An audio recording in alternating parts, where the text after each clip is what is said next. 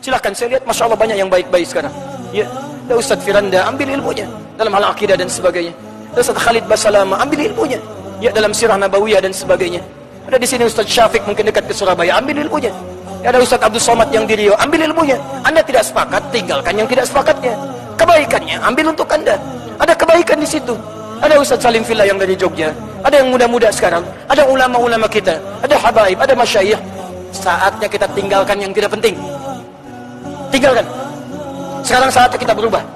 Mau sampai kapan antum saling bersikap seperti itu? Sampai kapan mau saling celah? Sampai kapan mau saling merasa benar sendiri? Sampai kapan mau saling merasa hebat? Yang paling gampang, ambil semua kebaikan. Jika tidak sepakat, tinggalkan. Ukurannya dua. Sesuai Al-Quran, sesuai Sunnah, ambil. Tidak sesuai, antum boleh tinggalkan. Jelas sampai sini? Termasuk saya.